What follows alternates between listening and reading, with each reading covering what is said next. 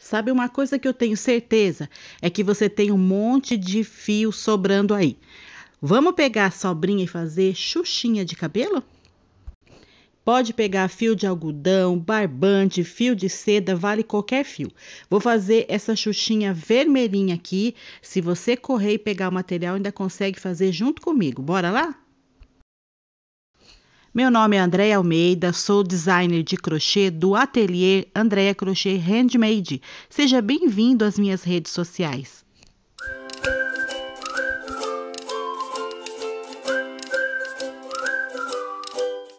Xuxinha, Chiquinha, elástico, não importa o nome, você vai fazer agora comigo.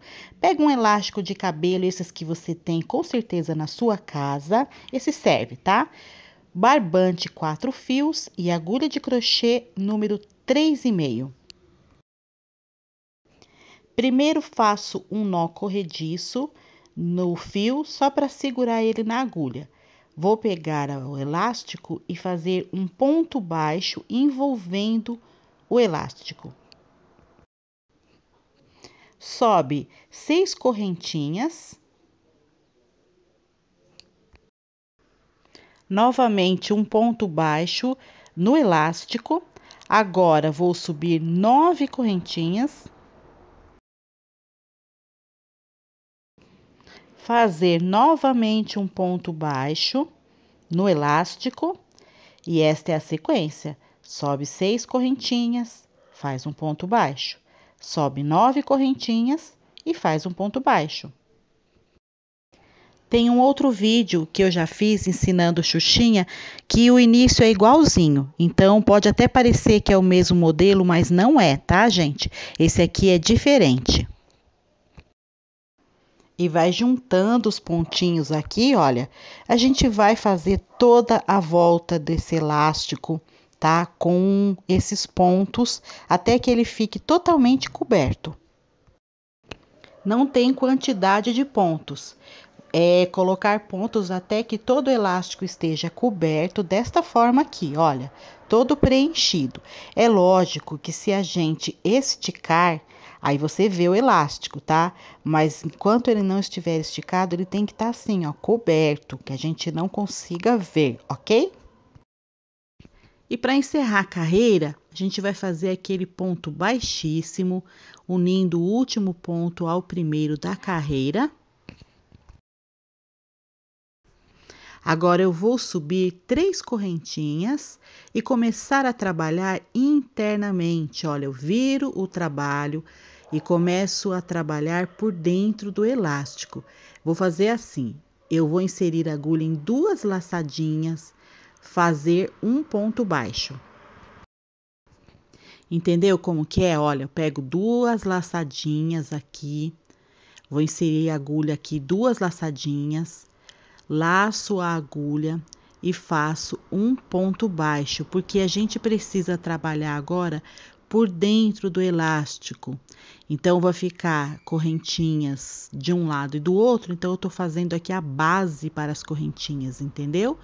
A gente vai fazer isso em toda a volta do elástico, tá? Um ponto baixo em cada duas laçadinhas aqui dentro. Olha lá, tá vendo como é que fica? Subimos aqui três correntinhas e agora pega duas laçadas, faz um ponto baixo. Mais duas laçadas, faz um ponto baixo. É bem simples de fazer isso aqui. E é aqui que tá a diferença desse vídeo da Xuxinha que eu fiz o vídeo anterior que não tinha essa volta. É, a Xuxinha anterior só tinha correntinha de um lado, tá? Vou deixar o link aí, quem não viu ainda pode dar uma conferida. Olha só como é que fica. A cada duas laçadinhas ficou um ponto baixo. Então, ficou prontinha aqui uma carreirinha para eu trabalhar as correntinhas, tá? Então, ele fica desse jeito. Tô até vendo você falar, nossa, como ficou feia, ficou horrível, né? Parece, né? Mas a gente agora vai trabalhar aqui e você vai ver como é que vai ficar bonitinho. Nem precisa fechar a carreira, tá? A gente já vem direto aqui no primeiro ponto baixo, faz um ponto baixo em cima dele. Agora eu vou subir nove correntinhas.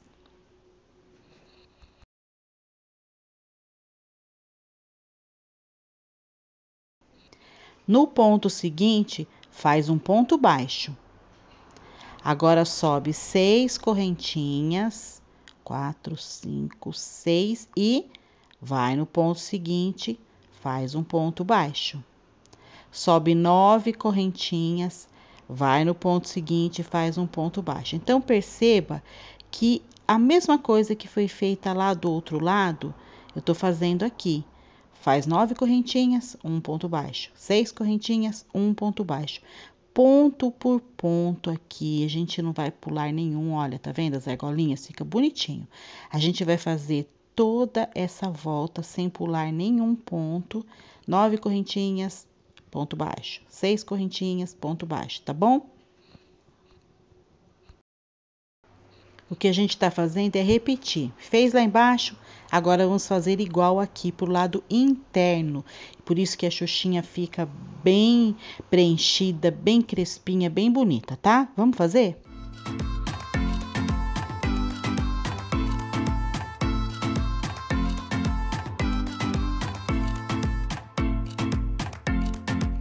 Olha aí, fiz todos os pontos, tá?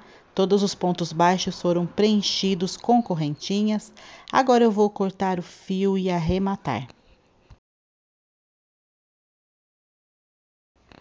E olha aí, tá pronta uma xuxinha bem é, elástica, ela não arrebenta o fio de cabelo, ficou bem crespinha, volumosa. E você pode fazer com qualquer tipo de linha, tá, gente? Essa eu fiz com barbante, tá? Mas se você usar outro fio também dá certo. Essa branquinha aqui, por exemplo, que eu usei um fio bem fininho, a única diferença dela é que eu fiz 15 correntinhas em cada argolinha, tá? Não fiz 6 e 9, eu fiz 15. Essa azul, eu usei um fio de algodão bem fininho, então eu usei dois fios para dar espessura. Eu espero que você tenha gostado da dica, que utilize as suas linhas aí sobrinhas e faça muita xuxinha para vender, para presentear, tá? Se você gostou, curte, comenta, compartilha. E até o próximo vídeo.